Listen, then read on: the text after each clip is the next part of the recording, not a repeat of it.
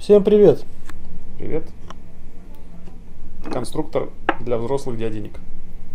Первый дом из смарт-блока. Первые смарт-блоки. Уменьшенный вариант. Нет, это чтобы тяжести не носить вам на стройке. Вот можете купить уменьшенную копию вот такую вот. И построить маленький домик. Мгм. Кстати, для кошки можно построить. Ты же купил недавно домик для кошки? Да, Очень хвалился им, по-моему. да, да. Вот надо было смарт-блок такой купить. Вот. Ну, в общем, по-серьезному. К нам приезжает оборудование 4 мая, и мы а, его запускаем. Сейчас проходят все подготовительные оставшиеся процедуры. Вот, и, собственно, начинаем производство в мае. А, Я думаю, что с середины мая мы уже выпустим первую партию. Вот. Пока мы никому, ну, никакие продажи не открываем, ничего никому сейчас, никаких счетов не выставляем, но а, как только мы получим первое изделие, вот такое, а, мы сразу же говорим, что у нас все получилось и начинаем продажи. Ну, мы планируем испытать его еще. Ну, конечно, да. Сначала еще испытаем, да, обязательно. А, так, ну что, что ты скажешь еще? Как тебе все это? Слушай, мне что-то пришла такая идея дикая какая-то. Почему бы не печатать конструкторы для взрослых? Вот мне кажется, мужику очень интересно будет взять пакет такой вот штуки и построить себе дом. Ну, зимой, допустим. И он будет знать, во-первых, у него будет макет. Согласись, макет это крутая штука. Мгм. Макет будущего дома. А во-вторых, он будет знать, какой его дом реально будет. Как он, как он по размерам, там, по порядовке, все вот это, чтобы соблюдалось. Это же круто. Ну, такой макет распечатать будет, знаешь, сколько стоит? Почти, Сколько? почти столько же, сколько дом построить. Целиковый. Во-первых, времени это требует много. Ну, пускай ладно, мы поменьше сделаем. Вот. Во-вторых, Цену набивает, короче, на принтер на свой китайский. да не, ну при чем цена? Это надо моделировать все. Это же, ты же понимаешь, что оконные проемы есть, там, их надо подрезать там, и так далее. То есть это же не все так просто. Вот, поэтому. Не, ну так-то идея хорошая, интересная. Вот. Что-нибудь можно придумать, попробовать. Вот, в общем, э, оборудование к нам едет, сегодня отгрузили, вот, поэтому все хорошо, мы все довольны. Сейчас э, для пропарочной камеры сэндвич-панели э, сегодня оплатили, они приедут, э, вот, будем монтировать. Вот, в общем, процесс идет, пока мы само производство не снимаем, потому что там снимать пока нечего, ну там пустой цех, вот, собственно, пока идет подготовка. Но как только оно поступит, мы его смонтируем, мы обязательно приедем туда и все подснимем, покажем, как это все происходит. А, выпуск, собственно, продукции. А, Российской продукции, российского блока, бетонного блока, бетонных стен, железобетонные стены. Росграмм и Росблок. И Рутуб. А, Вот. Ну да, у нас же как бы газоблок это материал-то откуда он пришел? Ну, по идее, наверное, из Германии, из Прибалтики. Там, наверное, первые появились. Это надо у Глеба Гринфельда спросить. Мгм. Вот. Нет, интересно на самом деле этот конструктор был посмотреть, чтобы понять, как там перевязка осуществляется, как там перехлесты, вот эти вот. Это все связано с тем, как располагается арматура. То есть вот я хорошо, допустим, здесь увидел. То есть где будет участок замоналичен между блоками, чтобы была перевязка. Да, да, защитные слои, все как положено. Мгм. Давайте поговорим на тему о преимуществах э, этого материала, то есть чем он лучше, чем он хуже ч- э, по сравнению с э, классическими стеновыми материалами, типа там кирпича, э, газоблока и так далее. То есть концепция этого блока в том, что мы получаем прочную тонкую стену железобетонную, вот, и потом ее утепляем необходимым нам слоем утеплителя. Если у нас есть газ, утепляем там 100 там, миллиметров, в принципе, может быть и достаточно будет, там 100, 120, 130. Там. Если у нас э, электричество, то утепляем 200-300 миллиметров. Ну, то есть э, мы сами регулируем ту тепловую эффективность э, нашего здания, как, которую нам нужно получить. Вот, в зависимости от того, какая архитектура и какой источник э, энергоснабжения для отопления нашего дома. Вот. Кроме того, мы получаем армированную стену, то есть у нее меньше требований к фундаменту, то есть если какая-то будет осадка, просадка, дом не потрещит, а стены будут сохранять свою а, прочность, не будет никаких трещин. А вот. То есть это очень большой плюс а, как для частников, так и для строительных компаний, поскольку, поскольку это уменьшает сильно а, их риски а, по строительству. Кстати, об этом никто не говорит. Ну, вот пока печатался этот блок на принтере, а, с нашими общими знакомыми там произошли тоже чудеса на стройке. Вот они мне скинули сейчас видео. Дом из кирпича потрещал, просят приехать разобраться.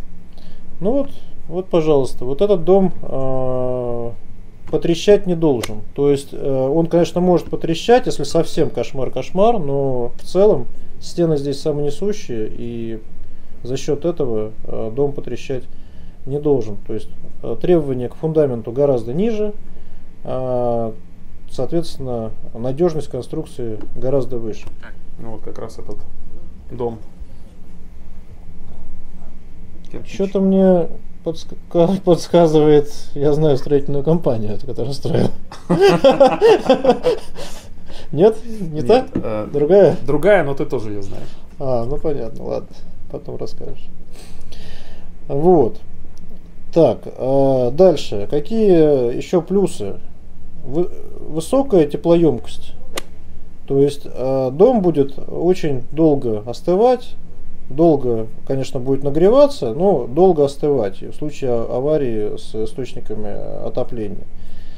А, то есть это позволит как бы ну более комфортно, более как получить более комфортный температурный режим в помещении, да? Ну, есть требования к тепловой устойчивости Да, зданий. То да, есть они да. задокументированы.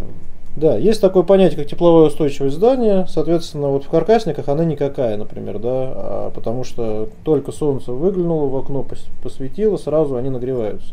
Это можно, если к авиационной тематике переходить, можно сравнить с планером. Вот этот вот дом. То есть планер, ну что, запустили, он летит. Даже Да, если да. потоки небольшие, он потихонечку снижается. Да, да. Вот. То есть э, высокая тепловая емкость. Высокая прочность, нет проблем с крепежом. Это самый стандартный вопрос, который задаются заказчики. А как крепить там, в газоблок, в теплую керамику там, или в пустотелый кирпич? Вот, пожалуйста, никаких вопросов. Бетон, бетонная стена. А также очень э, важный момент, что в обычной монолитной стене, вот если мы сделаем просто монолитный дом, да, то есть мы сделаем защитные слои стандартно по 20 мм, то у нас проблемы есть со штраблением. Здесь проблем со штраблением нет под электрику, то есть 20 мм штраба, она разрушает только слой вот этого неармированного э, блока, вот, и, соответственно, мы замазываем, то есть никаких а, вопросов нет, то есть арматуру мы не разрезаем при этом. Вот.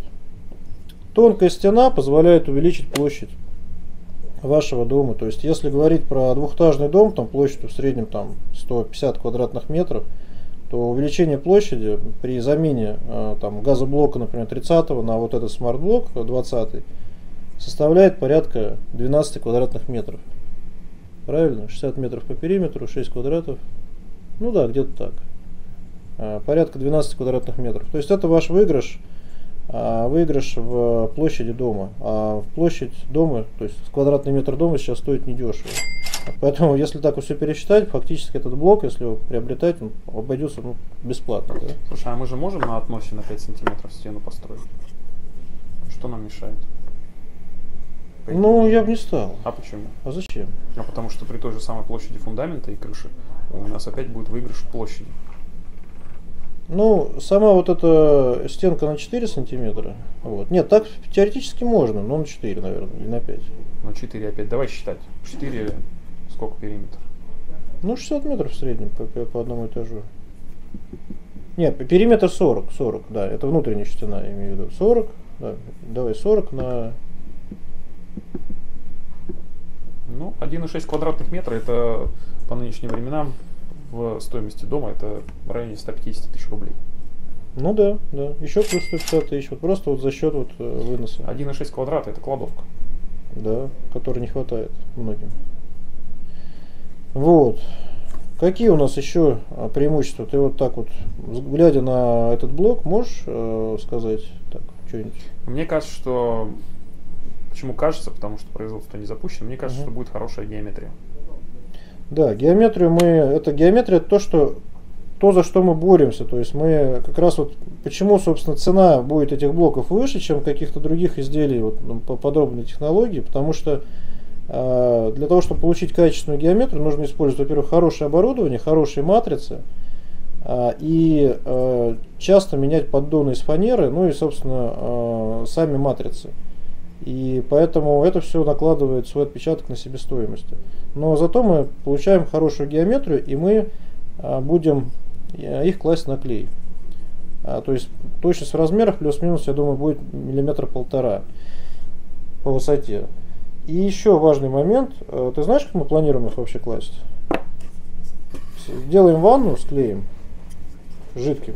Берем блок, опускаем в клей. Угу. И вот так вот. Все. И не надо ничего намазывать мастерком, то есть это ускоряет сильно производство работ. Вот. И по стоимости. Ну, самое главное по стоимости, конечно же. То есть, чем меньше у нас площадь, ну, объем стены, тем, соответственно, у нас она дешевле. Даже с учетом того, что здесь надо будет армировать ее, заливать бетоном. Это все расценки, они известны, и все равно эта стена получится дешевле в итоге с утеплителем, чем, например, стена там, с газобетона по тем текущим ценам, которые сейчас есть. Ликвидность. Банки очень любят железобетон. Ликвидность, да. Еще такой важный момент – это отсутствие продуваемости. Монолит.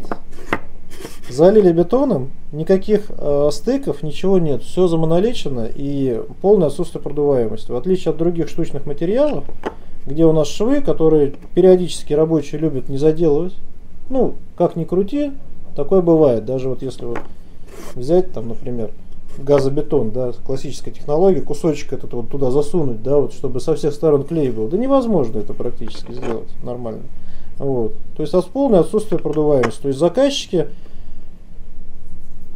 ваши заказчики, да, не будут вам показывать линейку тыкать. здесь нельзя э, тыкнуть эту линейку, потому что здесь шип пас. Вот, это очень важно.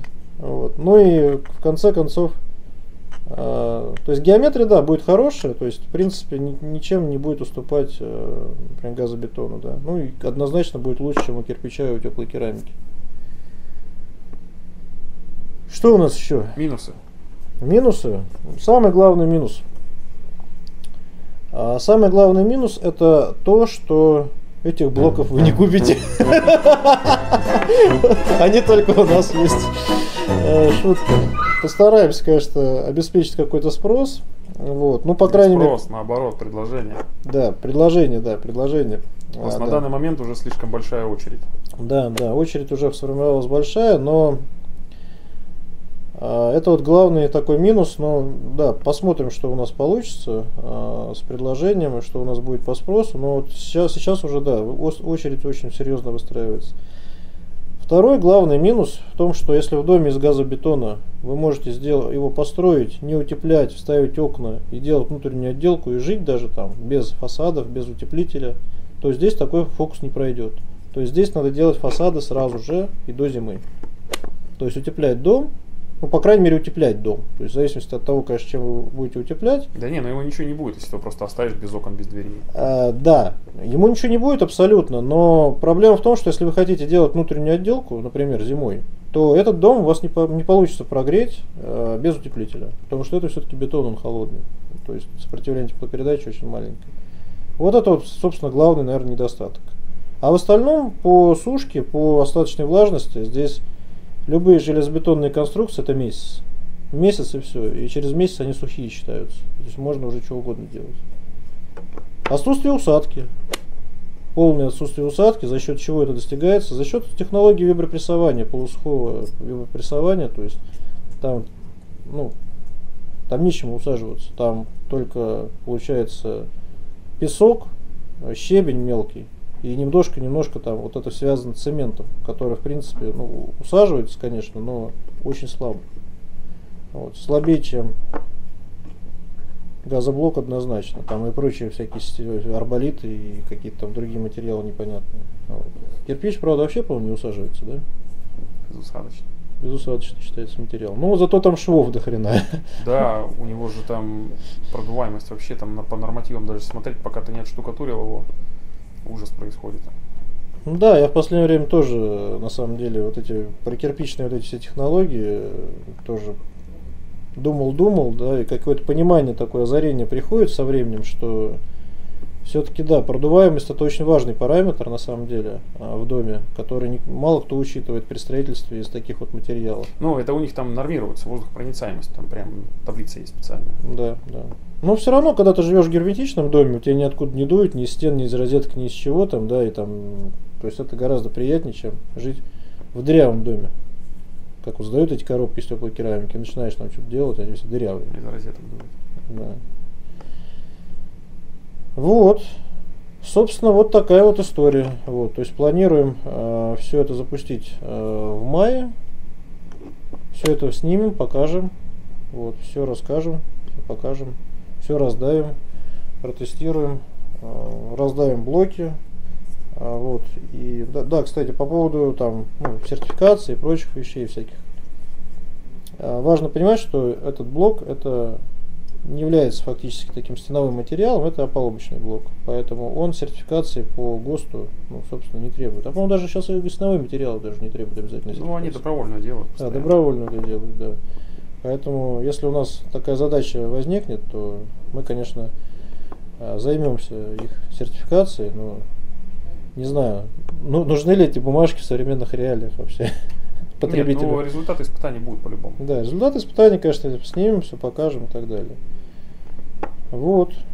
Ну и самое интересное, что есть у нас элементы такие, как угловые элементы, и вот угловой элемент доборный.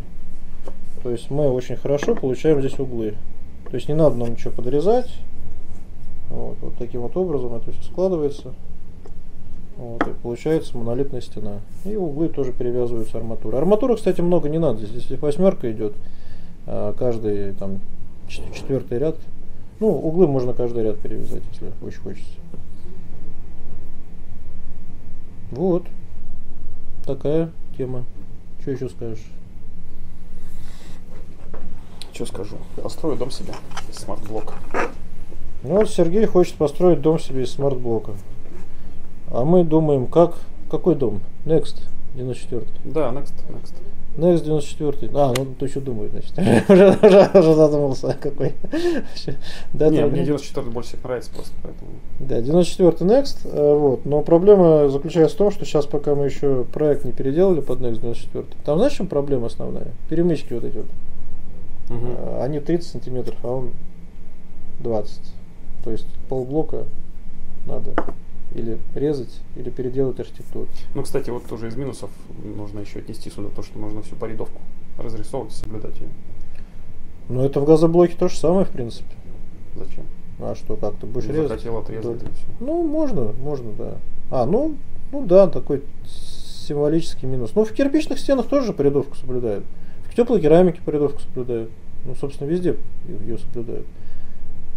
А окна можно двигать туда-сюда. Ну, кстати, в нем очень удобно двигать всякие проемы, там ничего не случится вообще. Да, да. Замучаешься пилить только. Да, да. И армирование, кстати, вот по поводу перемычек, наверное, многие будут спрашивать, как делать перемычки.